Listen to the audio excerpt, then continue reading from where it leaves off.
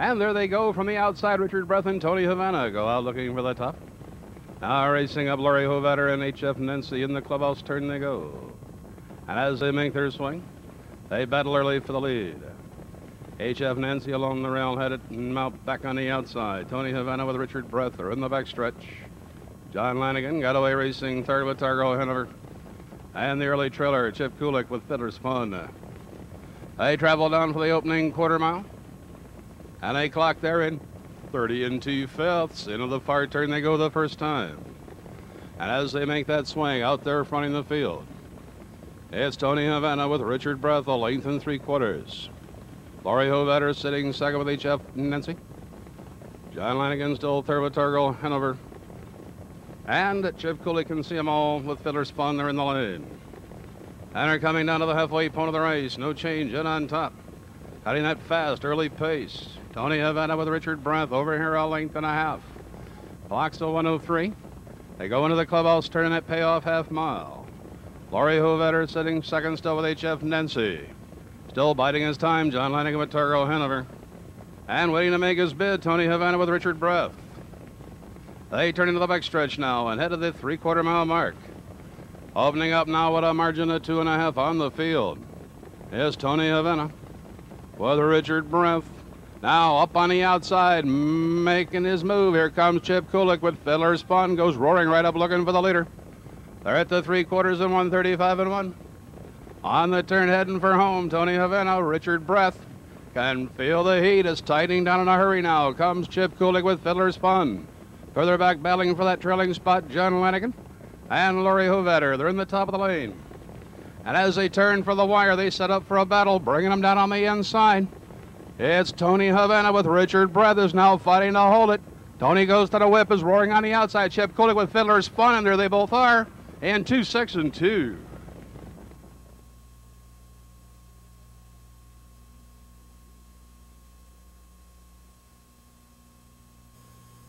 Returning to the winner's circle will be your race winner. Number four, Tony Avana and Richard Breath. And bringing back to the winner's circle, victorious in the first annual Battle of Magic 105.7, number four, Richard Breath, driven by Tony Avana. Assisted tonight by Ken Holliday.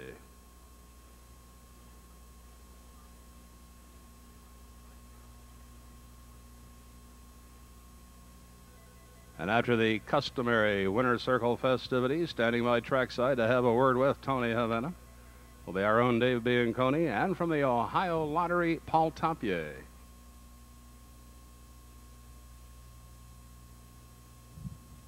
Down to the winner's circle, I'm joined by uh, Paul Topier, of course, of, uh, the host of Ohio Lottery Cash Explosion, which obviously isn't coming to you live tonight, huh, Paul? Uh, no, it's all on tape.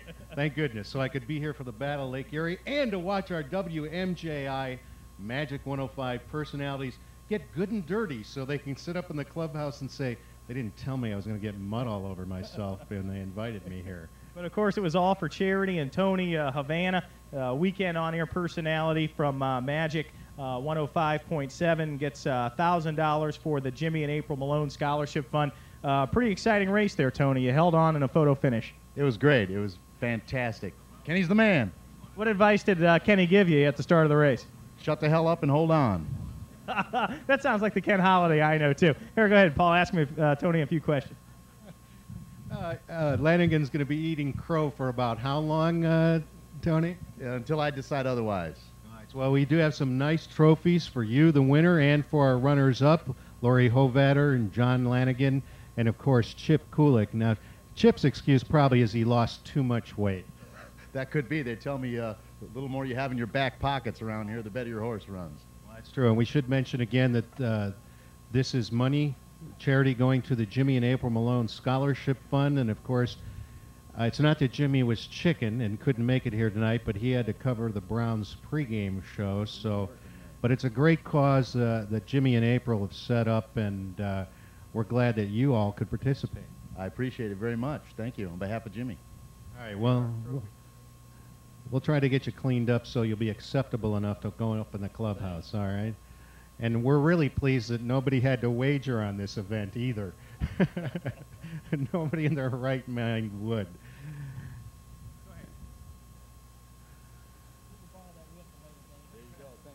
Yeah, he might need that later on.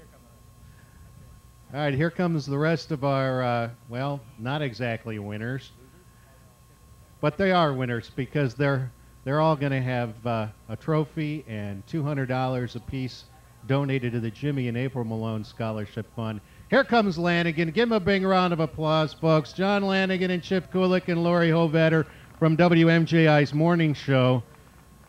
And Lanigan, uh, your trophy, your $200 towards the Jimmy and April Malone Scholarship Fund. I think it's because Kulik was in your way. Am I right?